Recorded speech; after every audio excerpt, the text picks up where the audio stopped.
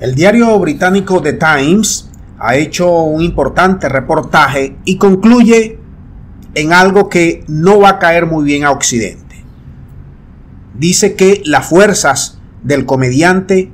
no están preparadas para la contraofensiva, pero que no les queda de otra, lanzarlas. Puede ser en primavera, puede ser en verano, pero según fuentes consultadas por este portal británico, sobre todo analistas y expertos militares dicen que no hay manera de que el títere comediante logre una ofensiva o una contraofensiva exitosa sin una aviación militar contundente como ahora mismo que le está faltando municiones, como ahora mismo que la, no tienen defensas antiaéreas y sobre todas las cosas porque los rusos han fortificado prácticamente todo, han creado enormes trincheras en los territorios que han venido liberando y que la información satelital que procede la inteligencia británica y la gringa es compartida y se da y han visto los progresos, las enormes zanjas y trincheras y fortificaciones que han ejecutado los de la federación en todo este tiempo que han liberado estos territorios. Con lo cual, con lo cual, esta esta tan anunciada contraofensiva que la están diciendo desde el mes de noviembre. Llevan más de cinco meses,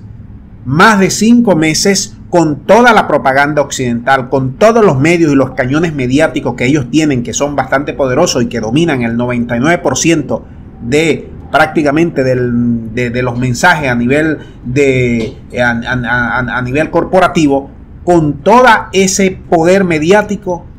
ahora que aparezcan los grandes medios a decir que no van a lograr sino algunas modestas ganancias porque no tienen las condiciones para asustar a los rusos o para darle una contraofensiva de rigor. Ahora yo pregunto,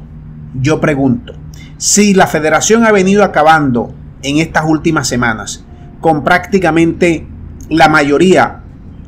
de las cadenas logísticas del el títere comediante. Si la federación le ha dado golpes certeros a los almacenes, al equipamiento militar, a, a, la logística para traer material militar desde Europa, para traer todo tipo de equipamiento, a los altos mandos, a los cuarteles donde están diseñando esta contraofensiva. Yo pregunto, ¿qué le va a entregar el títere comediante a sus patrocinadores, a quienes les bajan la plata, a quienes le bajan las municiones, a quienes le bajan los equipamientos militares. Estas migajas que, según dice The Times, probablemente lograría en una llamada contraofensiva. Si es así, si es así como lo plantea The Times, esto se acabó para el títere. Esto se acabó porque ya no hay argumentos desde el punto de vista de la propaganda y desde el punto de vista del marketing que logre convencer a sus inversores. De todas formas, vamos a esperar que llegue la llamada contraofensiva para sacar conclusiones, pero por ahora los expertos occidentales y los militares que eh, conocen muy bien información de rigor no le dan mucho crédito a esta contraofensiva. Lo dejamos hasta aquí, muchas gracias, será hasta la próxima.